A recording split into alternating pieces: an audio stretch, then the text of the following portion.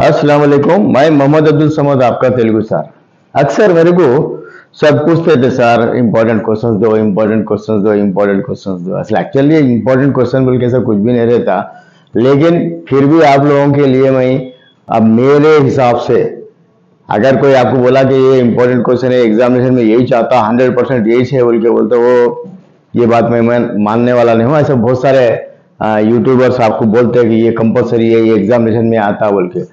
यहाँ से ऐसा कुछ भी नहीं है। तो आपके जो एग्जामिनेशन में जो दिया गया, आपके टेक्स्ट बुक में जो आंसर्स दिए गए, वो आंसर्स आपको जस्ट एग्ज़ाम्पल है। अब मैं यहाँ पर जो भी क्वेश्चन दिया, वो क्वेश्चन पूरे क्या है? टोटली डिफरेंट क्वेश्चन है। यानी आपके टेक्स्ट बुक का जो आंसर है, वो क्वेश्चन टेक्स्ट बुक का क्वेश्चन वो क्वेश्चन नहीं रहता सेम टू सेम क्वेश्चन नहीं रहता उसको घुमा फिरा के देता फ़र्क क्या रहता बोल के बोल दो। आपका नाक कहाँ है बोल के अगर क्वेश्चन पूछा तो मैं, मेरी नाक यहाँ है बोल के डायरेक्ट बताया तो। लेकिन उन्हें क्या करता आपकी नाक किधर से आती, कैसा आती? बोलती मेरा घुमा फिरा कैसा लेके आती यहाँ पर सवाल वही से रहता, उसके अंदर कोई डिफरेंट नहीं रहता। अब यहाँ पर वही कल भी तिरणमलो आनंदम उठती यानी मिलके खाने में खुशी होती बोल के ये बात। अब ये बात को मैं अलग अलग अंदाज में बोलता हूँ मैं। मिलके खाने से दोस्ती बढ़ती, मिलके खाने में मोहब्बत बढ़ती। ये बात को प्रूव करो बोल के अब उसको वही क्वेश्चन को घुमा फिरा के देने को क्या बोलता है यहाँ पर बोल के बोलते तो उसमें हमारे बच्चे क्या हो रहे बोल के बोलते कंफ्यूज ज़्यादा हो जा रहे परेशान ज़्यादा हो जा रहे हो। के बोल रहे कि, सर, हमने ये क्वेश्चन याद करे, ये क्वेश्चन याद करे, लेकिन एग्जामिनेशन में कुछ अलग ही क्वेश्चन दिया।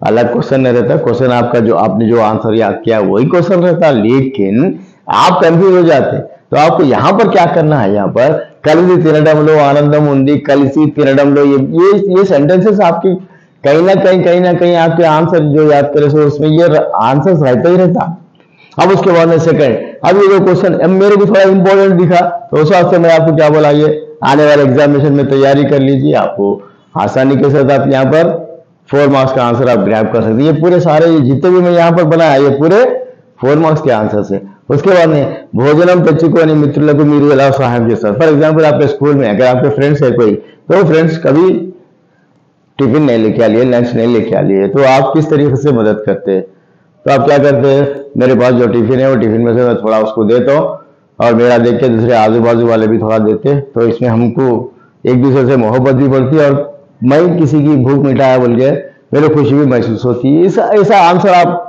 डिज़ाइन करके लिख सकते हैं। उसके बाद में यहाँ पर यक्ष ప్రశ్నలు अंटे एमिटी। ये పొడుపు కథల लेसन సెకంड लेसन का क्वेश्चन है ये। यक्ष ప్రశ్నలు अंटे ఏమిటి जो unsolvable there is no solution at all ऐसे क्वेश्चंस को यक्ष प्रश्न बोल के बोले। अब ये यक्ष प्रश्न ये मैं यहाँ पर हमारे रियल लाइफ में, रोज़मर्रा ज़िंदगी में ये यक्ष प्रश्न से कोई रिलेशन नहीं है। फिर भी मैं आपको मैं क्या बोल सकता हूँ ये इंपॉर्टेंट नहीं है बोल के नहीं बोला सकता हूँ क्योंकि क्वेश्चन और एग्जामिनर क्या है कौन सा भी क्वेश्चन दे सकता है आपको अब ये इंपॉर्टेंट नहीं है सच में रियल में हमारे रियल लाइफ में ये यक्ष प्रश्न से ये कोई मतलब नहीं है और हमारे रोजमर्रा जिंदगी में यूज में भी नहीं आ रहे लेकिन अब यहाँ पर यक्ष प्रश्न అంటే ఏమిటి పొడుపు కథల గురించి రాయండి रिडिल्स के बारे में लिखो बोल के बोल रहा कौन से रिडिल्स कब इस्तेमाल हो रहे वो से रिटर्न कब इस्तेमाल होते अब ये मेरी नज़र ही है, मैं रोज़मर्रा ज़िंदगी में यूज़ आने वाले। अब ये नेक्स्ट क्वेश्चन देखिए कष्ट पड़ते तो ये पड़ते तो मैं अलग ये ये, आप जितनी मेहनत करते हैं जितनी मेहनत करते रहेंगे, जितना मेहनत करते रहेंगे, उतने ज़बरदस्त नतीजे आते ये क्वेश्चन ज़बरदस्त क्वेश्चन है। ये मेरे लिए इंपॉर्टेंट क्वेश्चन समझता हूँ। ये ऊपर जो क्वेश्चन है। मेरे लिए इंपॉर्टेंट नहीं है रोज़मर्रा ज़िंदगी में अप्लीकेबल होने वाले नहीं है। मैं इसके बारे में ये इंपॉर्टेंट नहीं है बल्कि मैं नहीं बोल, बोल, बोल भी नहीं सकता हूँ। ये इंपॉर्टेंट क्वेश्चन नहीं हो तो नहीं पढ़ना बोल के मैं नहीं बोल सकता क्योंकि एग्जामिनेशन में देता। मैं इसे शुरू मेरी मेरी वीडियो शुरू करने से पहले क्या बोला? अगर कोई बंदा बोला कि ये एग्जामिनेशन में यही क्वेश्चन आता है यही पढ़ लेके जाना ये करना बोल के बोलते वो दुनिया चलेगी। आज से दस साल पहले पंद्रह साल पहले मैं बता था ये पामुझे लिखा था ये पोएम लिखो आंधा भिक्षु की ये पोएम लिखो ये फलाना वार्ता पत्रिका भी याद करो ग्रंथालय में याद करो तो वो एग्जैक्टली सेम वो रात में आधा घंटे पहले पढ़ के जाके भी कल एग्ज़ाम लिखे तो पास होते थे लेकिन अब कंटिन्यूस कॉम्प्रिहेंसिव एवेल्युएशन ये चीज़ के न, उसके ऊपर नज़रिए पे। यानी स्टूडेंट का कहाँ पर कितना वहाँ से आउटपुट रहा कितना लैंग्वेज के ऊपर उभूर हासिल कर रहा कितना बच्चा समझ के लिखने की कोशिश कर रहा उसके ऊपर आपको यहाँ पर मार्क्स देने वाले हैं। तो अब उसके बाद ये इंपॉर्टेंट क्वेश्चन है, ये क्वेश्चन एग्जामिनेशन में आता हंड्रेड परसेंट वैसा नहीं रहता। तो आप इसके बाद नेक्स्ट यहाँ पर अभी क्या बोलता है कष्ट पड़ते नहीं, ये फलित महीना। मेहनत करे तो कौन से भी रिज़ल्ट आसानी के साथ हासिल कर सकते मेहनत करना पड़ता। उसके बाद, ये लक्ष्य लेने जीवित व्यर्थ में दुखू। मैंने बिना टारगेट के, बिना एम के, कोई टारगेट नहीं है, कोई ज़िंदगी का मकसद नहीं है। ऐसी ज़िंदगी बेकार ज़िंदगी है। ये भी इंपॉर्टेंट क्वेश्चन है ये। ऐसे क्वेश्चन फोर मार्क्स में पूछ सकता है एट मार्क्स में पूछ सकता। है उसके बाद में लक्ष्य साधन को प्रेरणा एला वस्तु आपका जो टारगेट है, आपका जो गोल है, वो गोल को रीच करने के लिए फिर आपको इंस्पिरेशन कहाँ से मिलता? कहाँ से मिलता? हमारा नेचर से मिलता।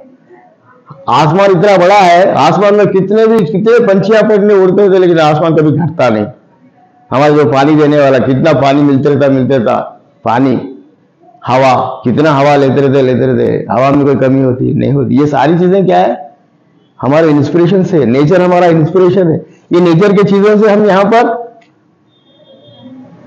इंस्पायर हो सकते हैं ऐसे चीजें यहां पर ये जो क्वेश्चन में दम है इसके अंदर ये ऐसे क्वेश्चन आप पहले याद कर लेके याद कर लेना चाहिए हमारे पास अभी एग्जाम्स बहुत खरीब है तो पहले ऐसे जो बड़ा भी बताया కష్టపడితే ये ఫలితం ఉంటుంది ఏ లక్ష్యం లేని జీవితం వ్యర్థం లక్ష్య సాధనకు ప్రేరణ ఎలా ఉండాలి ये भाग्यरेड्डी वर्मा తిరుగులేని నాయకుడు ఎట్లా ये भाग्यरेड्डी वर्मा ये एस सी ये पिछड़े अनटचेबल्स के साथ कितनी मेहनत करा क्या मेहनत करना ये उसके बारे में वो अनबीटेबल लीडर कैसा बना उसके बारे में डिस्क्राइब करो बड़ा अच्छा क्वेश्चन है ये उसके అనగారిన వర్గాల చైతన్యం కోసం భాగ్యరెడ్డి వర్మ చేసిన కృషి ఏమిటి वो कितना मेहनत करे उनके डेवलपमेंट के वास्ते क्या क्या चीजें करे ये सारी चीजें इंपॉर्टेंट उसके अंदर यहाँ पर एक చిత్తశుద్ధితో పనిచేయడం అంటే ఏమిటి सिंसियरिटी सिंसियरिटी के साथ सिंसियरिटी के साथ काम करना बोल के बोलते हो। हम एक अच्छा काम कर रहे हैं सिंसियर कर रहे हैं, उसके पीछे मेहनत लगा रहे हैं, उसके पीछे पैसा लगा रहे हैं, उसके पीछे वक्त लगा रहे हैं। ये सारी चीज़ें आप सिंसियरिटी के साथ काम कर रहे हैं, तभी जाके आपको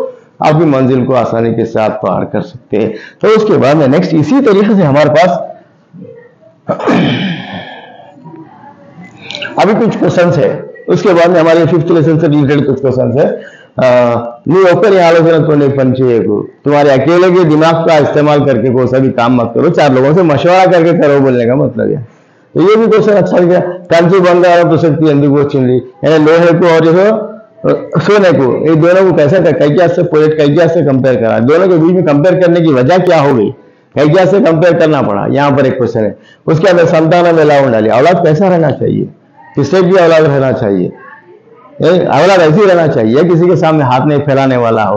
और कोई हाथ फैला तो नहीं बोल के देने वाला हो। और उसके बाद में क्या है यहाँ पर? यानी हमेशा सच बोलने वाला हो, पाँच वक्त का नमाज़ पढ़ने वाला हो।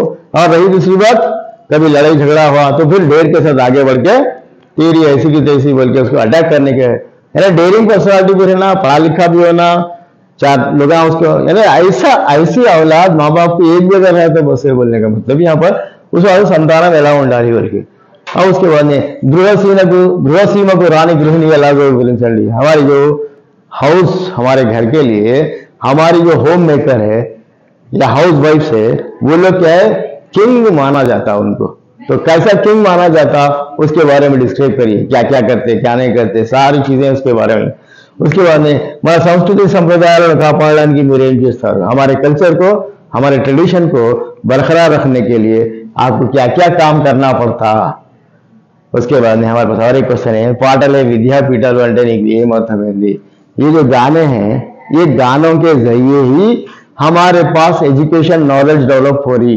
तो इसका मतलब क्या हुआ? कई क्या से गाने कर रहे हैं। वो गानों में कुछ मतलब रहता वो गानों में कुछ नॉलेज है, वो गानों में कुछ हिस्ट्री है, वो गानों में कुछ साइंस है। ये सारी चीज़ों को जो इलिटरेट्स को नहीं बताने के, नहीं समझाने के लिए, समझाने को समझ में नहीं आने के लिए, उनको गानों में कन्वर्ट करके गाने का वो देखिए गाने को इसमें करने की वजह से, उस वास्ते ये हमारे ये ये पाटले विद्यापीठ ये जो गाने ही गाने हमारे स्कूल के स्कूल्स बन गए बल्कि बोल तो ऐसा समझ में आया बल्कि, ऐसा आंसर लिखने का है।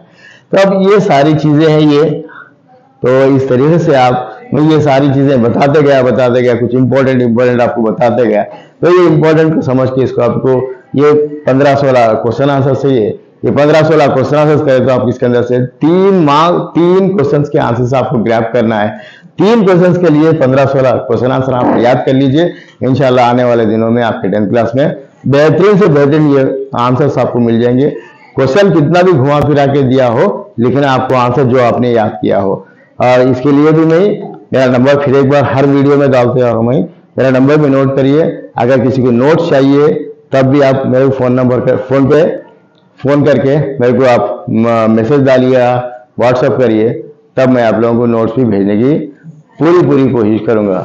तो मेरा नंबर नोट करिए nine three nine double one six double three zero five और रही दूसरी बात, ये वीडियो आपको बेहतरीन से बेहतरीन अंदाज में पसंद आई होगी, समझे ना? और ये सवाब जारिया समझ के, जितने आपके टेंथ क्लास के स्टूडेंट्स है, आपके फ्रेंड्स है, आपके रिलेटिव्स है, पूरे तेलंगाना में जितने टेंथ क्लास के स्टूडेंट्स पढ़ रहे हैं, उन सारे लोगों तक इसको ज़्यादा से ज़्यादा शेयर करिए लाइक करिए सब्सक्राइब करिए और कमेंट करते रहिए ताकि हम आपके प्रॉब्लम को दूर करने के लिए एक नए वीडियो के साथ फिर दोबारा आने की कोशिश करेंगे।